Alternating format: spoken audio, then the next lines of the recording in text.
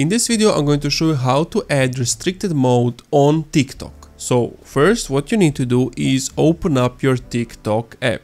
Once you have opened your TikTok app, go to your profile. From there click on the top right on the hamburger menu and click on settings and privacy. Then you want to scroll down under content display, the fourth one that says content preferences. Click on that and then click on the second option that says restricted mode. As you can see it's currently turned off. So if I want to turn it off, I click on it, I tap on turn on and then set a password click on next I confirm the passcode click on set and that's it restricted mode is now on. Thank you for watching this video. If you enjoyed, leave a like, comment, subscribe.